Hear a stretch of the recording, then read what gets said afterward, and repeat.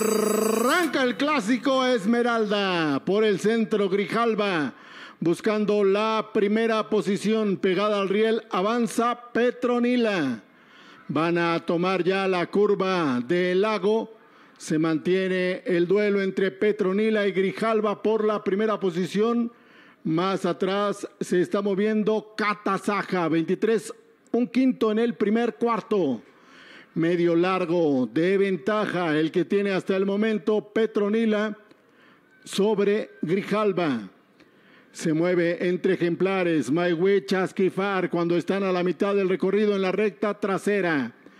Ya asoma por fuera haciendo su movimiento grota en azul y blanco con la monta de Gabriel Morales. 47 un quinto en la media milla. Están cerrando el recorrido en la recta trasera. Petronila pegada al riel. Grota en azul y blanco en la segunda posición.